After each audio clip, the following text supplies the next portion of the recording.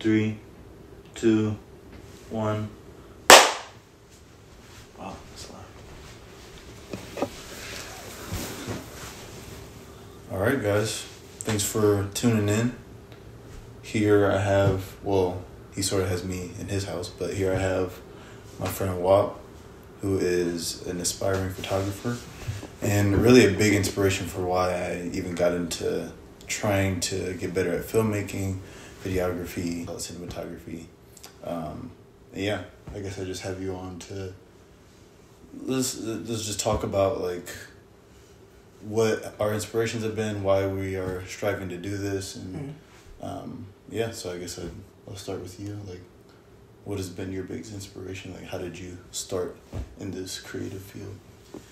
Man, uh, last time I told the story, I actually broke out into tears. Um, it's a it's a really beautiful story, and I guess to start it off, what happened was.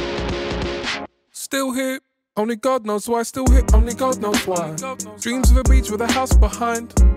Projectiles coming from the side. Projectiles coming from my life. War zone when I close my eyes.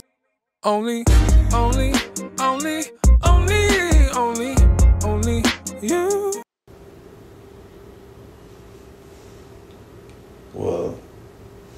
thanks, Wap, for coming on and sharing that.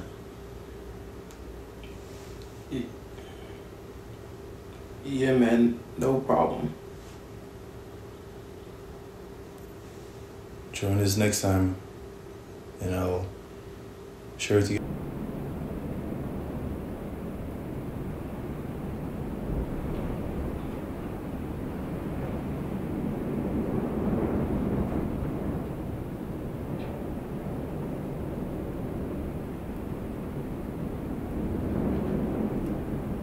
you